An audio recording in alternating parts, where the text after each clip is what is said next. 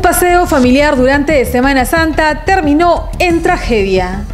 Cinco personas, todas ellas integrantes de una misma familia, fallecieron luego que el auto en el que viajaban cayó a un abismo de más de 500 metros en el caserío de Chora, en el distrito de La Cabamba, en la provincia de Payasca. La familia viajaba de Lima al distrito de Conchucos a celebrar la Semana Santa. Sin embargo, la intensa neblina habría ocasionado el fatal desenlace. Entre las víctimas figuran tres varones, una mujer y un menor de 13 años.